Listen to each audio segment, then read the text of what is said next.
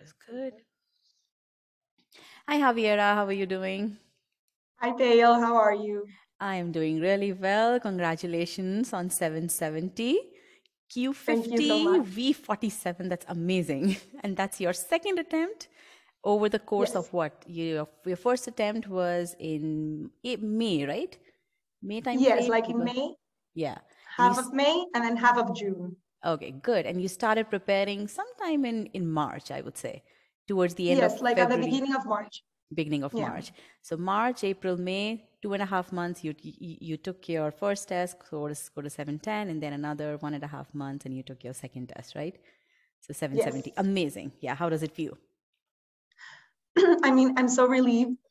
like when I saw the 770, I was so so happy. Like I couldn't stop my smiling. Like all the process actually was worth it. So I was really really happy. Right. And it was all predictable, right? You were scoring that high in your official marks and Sigma X marks, right? Yes, yes, yes. Um, yes, before actually giving the 770, I had just done one like the day before and I got like the exact same score, like 770 with the exact same distribution. Absolutely wonderful. So tell me, how did you go about preparing for, for your test? Before that, let me ask you a hmm. question.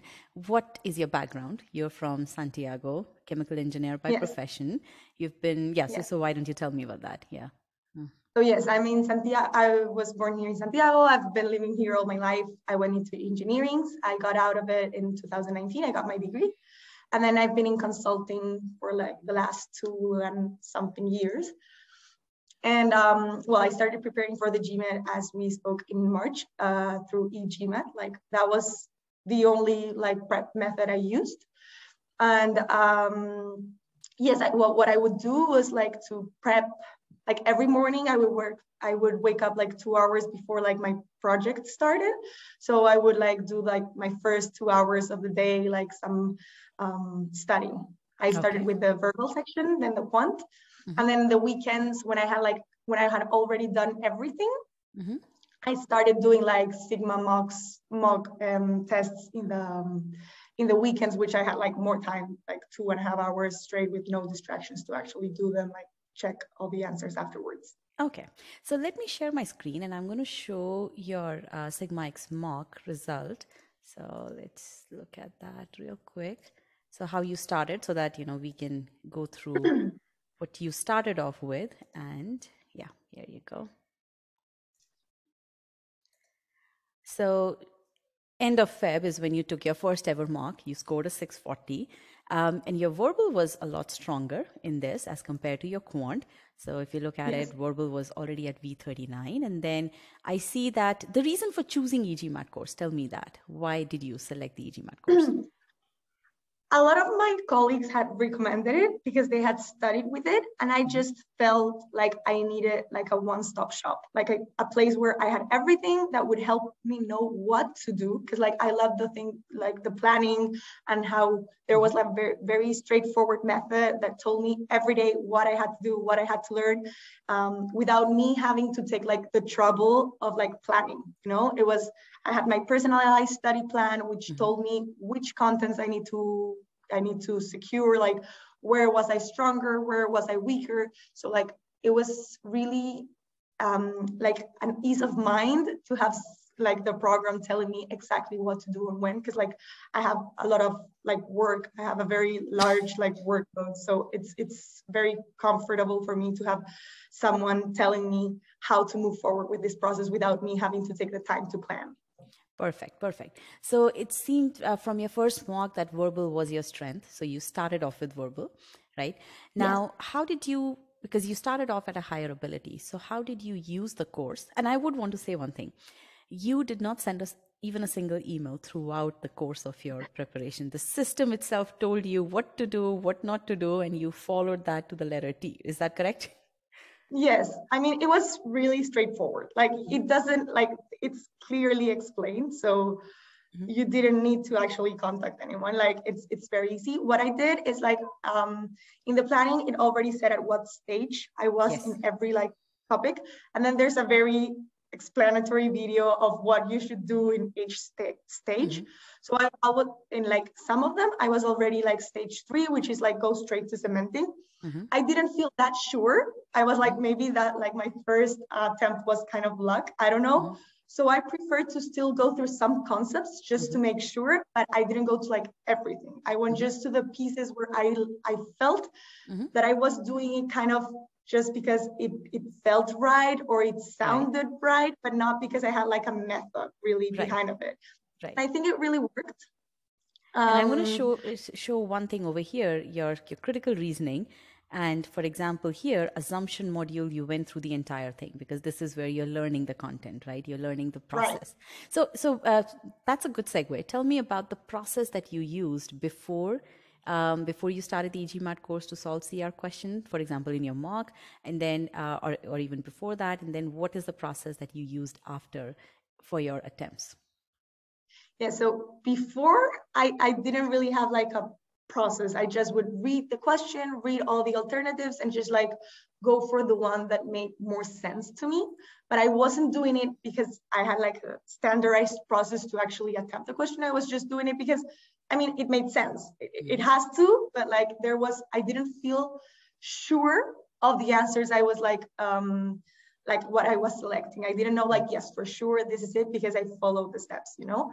Mm-hmm. And then with the EGMAT, what I was taught was all these steps, like the pre-thinking for the critical reasoning and how you go through the um, like uh, falsification condition and then actually uh, the process of elimination of alternatives. So I always, uh, what, what I really stick to in the critical reasoning, for example, for me, it was very important to actually read the statement first, then do my pre-thinking, come up with like some plus some things that would strengthen or some things that would weaken my answer, depending on the question, and then actually going through the alternatives, selecting which one uh, was in line with my pre-thinking and and sometimes there wasn't because like mm-hmm. sometimes you think other things and, and it's possible but then i would go through the alternatives and like do my pre-thinking again with those kind of topics in mind you know and, mm-hmm. and I, that really helped me to feel more secure throughout the test which i think it's like fundamental because like nerves are the thing that are gonna like it, it's the most important to be like calm when you're doing the test and mm-hmm. being sure like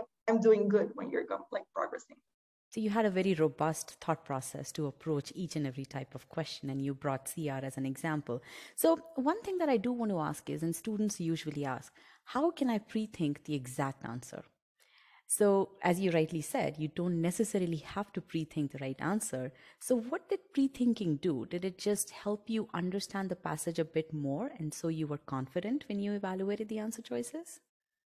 Yes, I mean, it, it, happened to me at times that I did my pre thinking and it wasn't in the alternatives. And I think it's valid because there's a lot of things that could like mm-hmm. weaken or strengthen certain clause, right? Mm-hmm. Um, but I think that with the pre thinking, what you do is like you start, um, first of all, like you said, understanding very well the passage and start thinking of things um, that this passage is based on. And maybe mm-hmm. it's not the same that you thought, but doing it definitely helps so then when you read the alternatives you already had given it a thought and it's not like you're mm. selecting the one that sounded better because like mm. you now have a really good understanding of what things is this based on and then what i always did was i like i read the alternatives and kind of do the pre-thinking again of course it's not pre-thinking mm-hmm. because i already read mm-hmm. the alternatives but i kind of did the process again now having in mind the topics that appeared in the alternatives so i would go in the answer choices yes mm-hmm. so i would go and think about it again before actually like selecting. Right. Like kind of like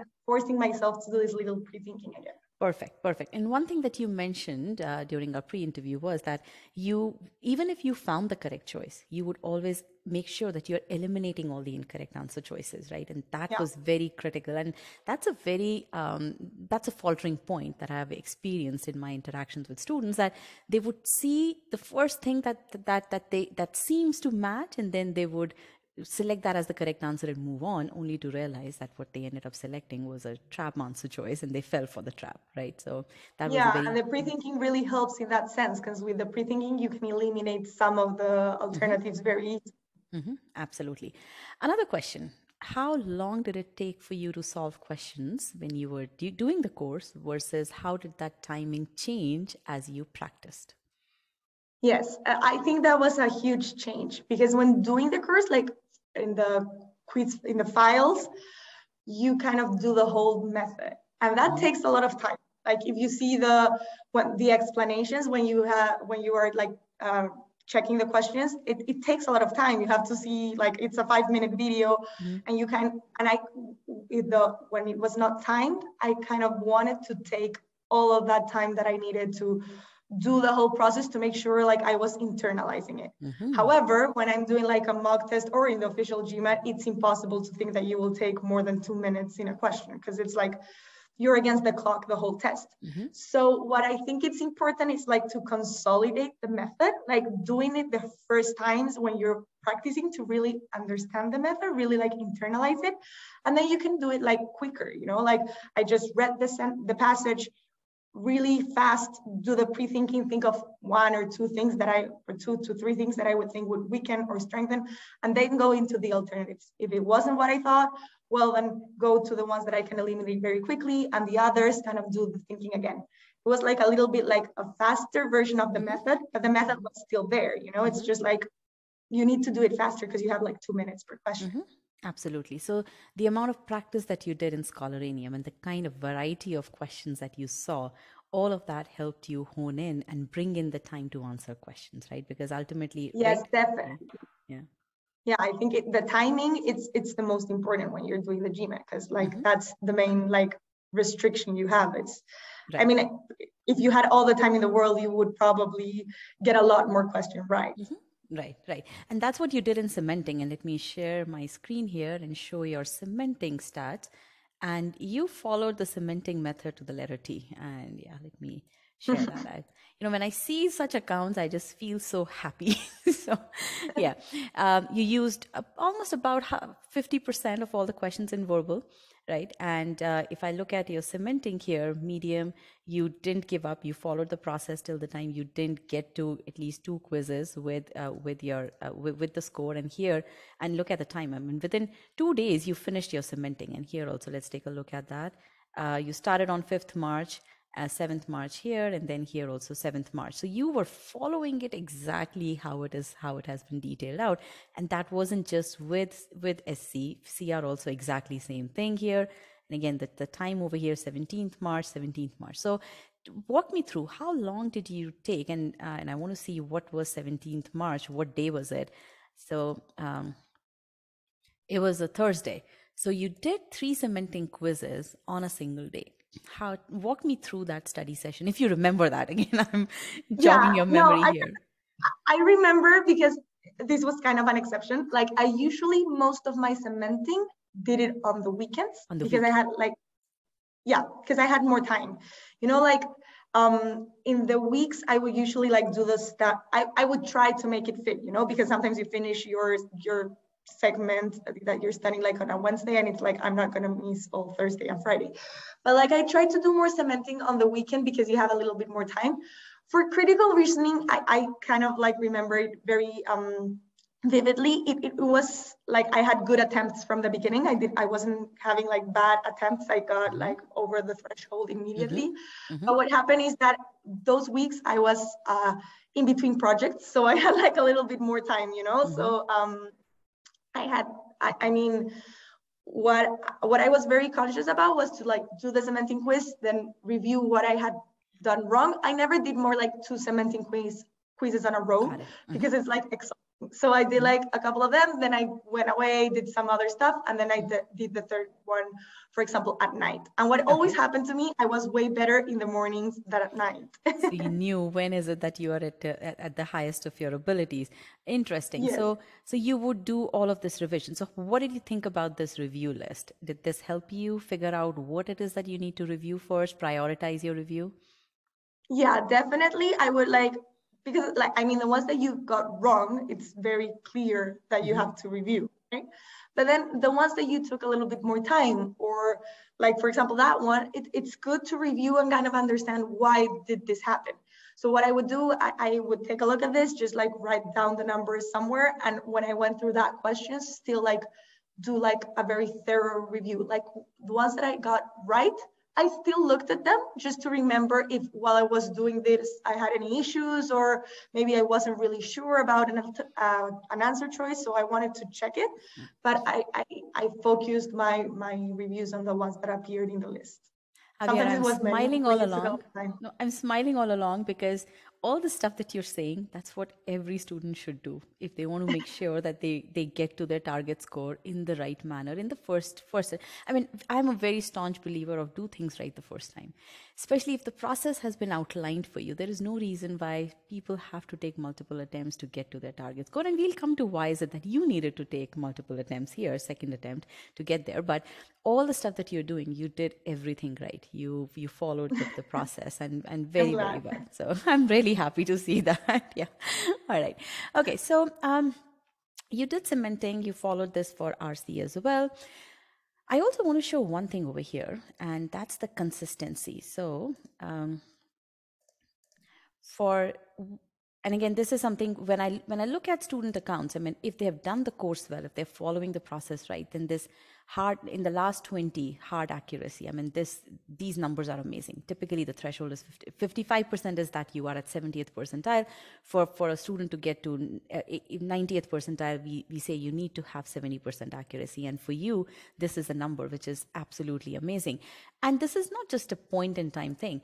What i was absolutely amazed to see was the consistency that you had. And that is a testament of how well you had imbibed the process and how well you were you were approaching every question. So here when i see you know consistently across all quizzes and these are quizzes since 1st of june and that's exactly the same thing if i do all data points. I mean consistent except for these little breaks here you were that was after my between my first and my second i took like two or one and a half weeks of no study and then i started again. So i started like a little bit ah. lower, but then I, I just got into it very fast. Another very important point. What do students do typically? They stop their prep and I've, and I've, because I talk to people and, and I understand when they fail and when they succeed, I, I kind of can draw parallels that, okay, this is, if, if this is happening, then there is a reason why for that to, uh, but there is a very solid reason. In your case, as, as, I mean, I could explain this dip, but you you did that really well that you know you you had not revised there was a gap in your preparation which is why it's always important to to revise before you take quizzes so absolutely wonderful and that and again your consistency shows I mean, look at CR, beautiful charts. So that is what happens when you do stage one properly, when you cement really well, the consistency shows and that goes into your confidence, which is what led you to get to your 770, right? The confidence, right? So yeah. good.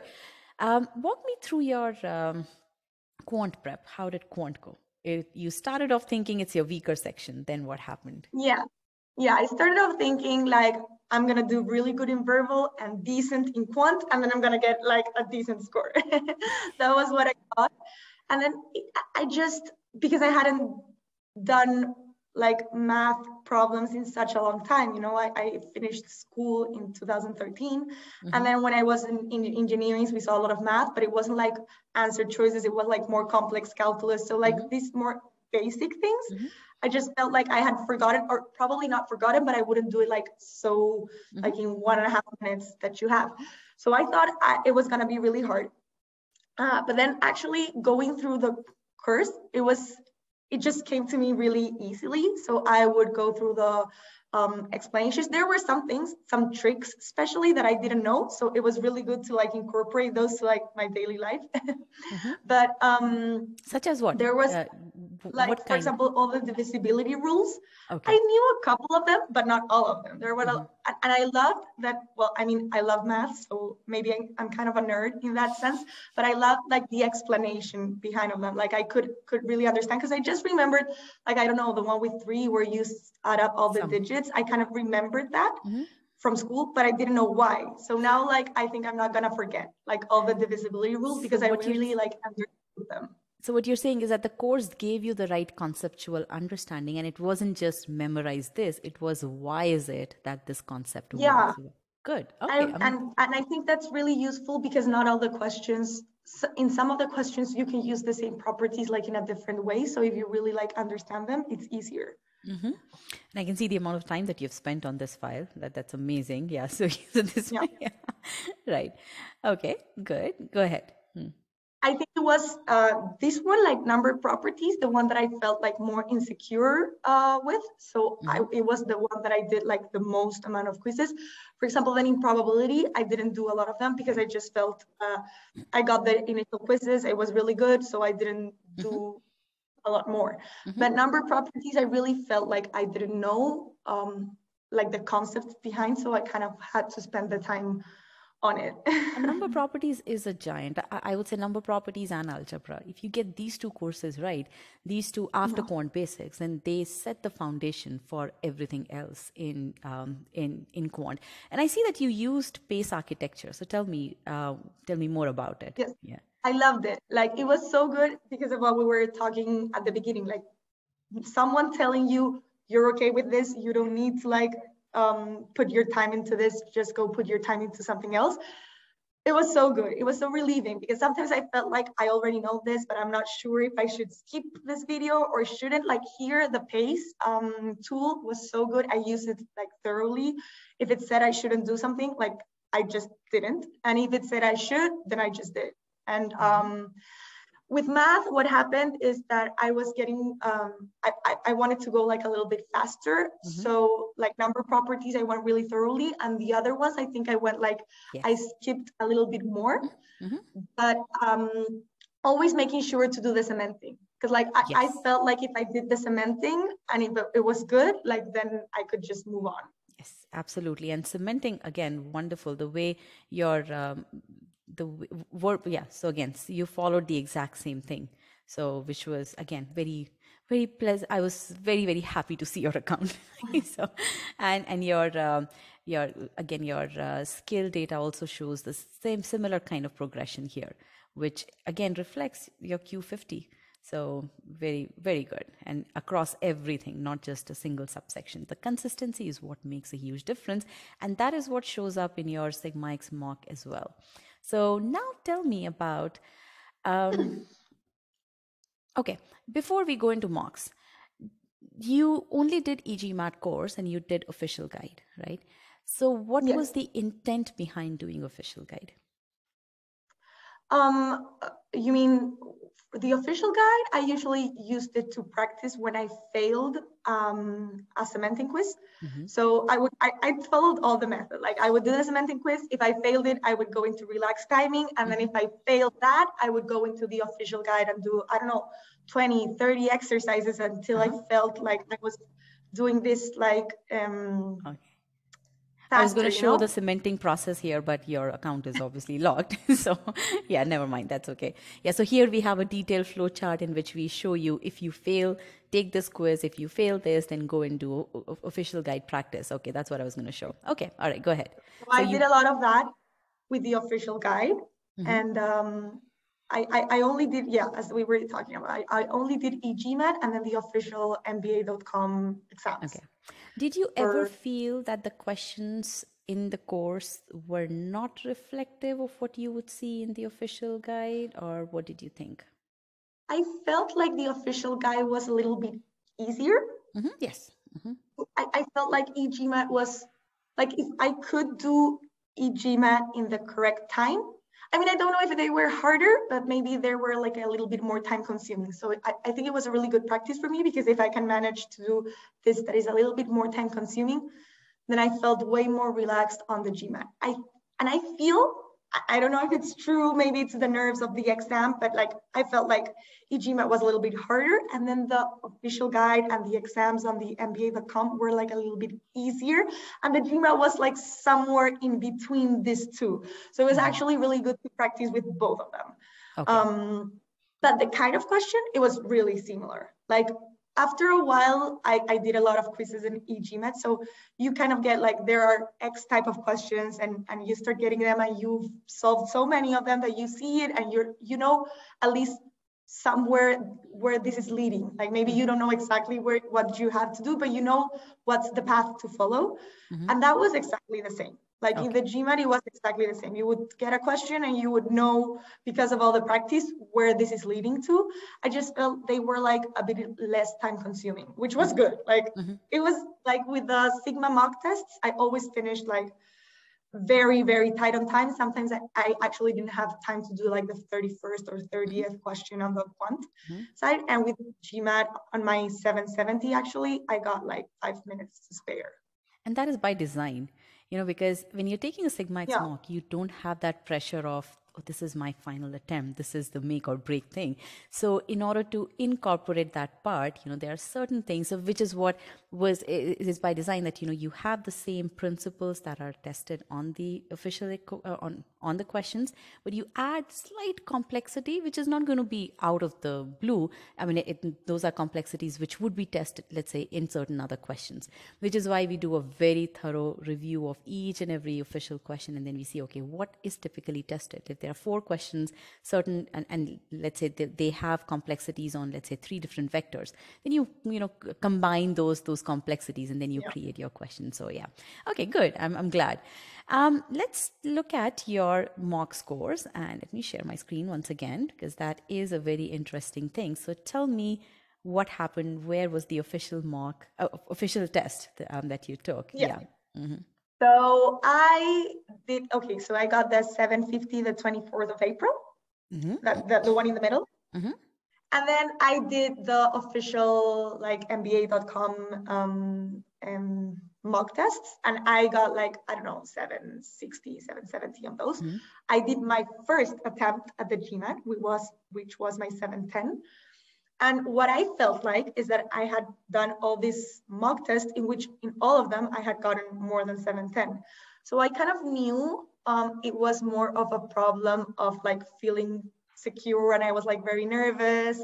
I had kind of some problems logging in. So it, it was kind of a stressful situation. And I think that though that stress kind of distracted me and you need to be very focused on the GMAT. So, and actually um, on math, on the quant side, I did like a little bit worse, but on the verbal side, I did significantly worse than I had done on, on my other mocks. And I know that verbal is my strength. So I feel like mm. when I was reading, I was kind of distracted. I couldn't really focus.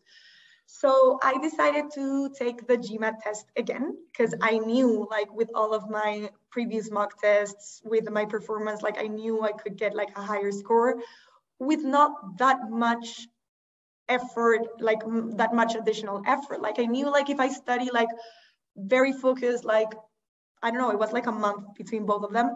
And I just study like very focused and uh, put in the time and just try to calm myself. Like the second time you give it, you know what you're dealing with. It, it's different. Mm-hmm. So then I got like, I did the mock test that I had uh, left. I, I took a week between after the GMAT. I was like, I'm just going to take a week off thinking this because I, I really need to relax. And then I started again. So then I got again a 730 and then again a 750 mm-hmm. and I went to the official MBA.com mm-hmm. um, prep tests and I got the 770 and then I got the 770 on the official. Perfect, test. perfect. I also want to show the kind of quizzes that you took between these two attempts. And that is yeah, a lot. Very, yeah, yeah, tell me, tell me about that. Yeah.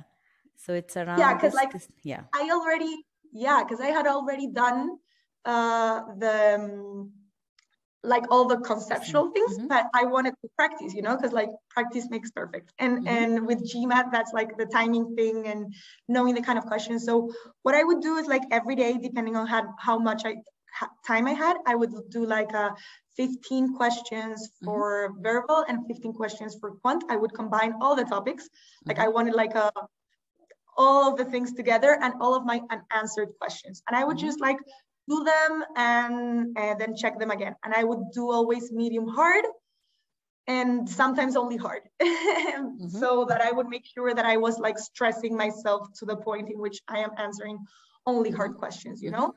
Mm-hmm. Um, so I would practice a lot with, with that. And then if I identified that I was having like certain flaws, like repeated flaws on certain kind of questions, mm-hmm. I would go again to like the topics. It happened, for example, with um, um, the Venn diagrams in in quant, mm-hmm. that I was getting them wrong, or I was getting them with a lot of like, mm-hmm. I was taking a lot of time in doing those, so I just went back and watched a couple of videos again, Okay. did some like the practicing again. But it was mostly like these combined quizzes to just like help me like gain the stamina you need for the for the Mhm. for the gym. Okay, got it, got it. Very nice. Um, I would say, Javier, I mean, very, very structured process of of preparing, and the way, and again, course is one thing. Course, course gives you that that structure, but it's you who has to follow along and and put in the hard work.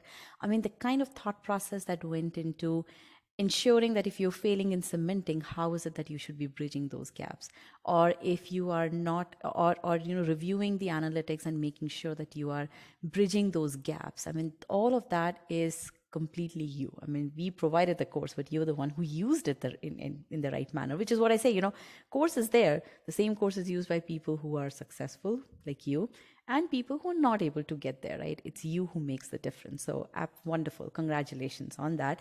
And i would say this goes back into the entire journey that you've had so far i mean bcg right after college and then two, within two years you've uh, you've gotten promoted from an associate to a consultant and you jumped a year there so congratulations for that. And now you are targeting those uh, m7 schools and there's i have no doubt in my head that you're going to do really really well. So uh, all the very best for your preparation. So toward the end i just want to ask you if you were to say three things that potential gmat aspirants should incorporate in their study what would those be First of all, and I think the most important is consistency. Like I, I never skipped a day or, or maybe one day, but not more than that. Like I would log in every day, even the weekends when I was tired. Like I think consistency is key because you're learning and you need to like do that like pro- learning progression every day. Mhm. The second one, um, I would think it's it's maybe just like trust, like trust that you will get there. Because like at the beginning, it seems like so far away and so hard. And then you start looking at the things you get wrong, and it's not like you can't solve it. It's it was it's it's the tiny details. So I guess like it's a lot of like doing the work, trusting that you will get there. And well, I don't know. I think it's it's just those two things. Maybe um may- maybe like maybe like taking like trying to leave the pressure out of it. Like i know it's it's hard but like just try try to live the process with with no pressures. Like if you don't feel ready to take the gmat that's perfectly fine. If you thought it was going to take two months and then it takes three or or maybe if you need like a little bit more time to study i think it, it's it's okay. Just Mhm. like live the leave the process as pressureless as you can understanding that it's a very stressful process Absolutely amazing. The last, I mean, consistency, very good. Trust, trusting in yourself. That is a very important learning. Pressure, I know it took you a little bit of time to get there, but that I believe is the most important thing. And if you're doing mm-hmm. one and two, if you are being consistent and if you trust yourself and the and the way you are going about your GMAT prep, I think relieving that pressure is the is the easiest thing to do. But that is one Yeah. thing that people don't do. They let the you know the, the pressure of the test kill their preparation. So very valid points. All right, Javiera, thank you so much for this. I'm sure the GMAT aspirants who are going to watch this video, they are going to learn a lot. I mean, you're very, very motivating story. So absolutely wonderful. Thank you so much. Bye Pale. thank you Bye bye. Hmm.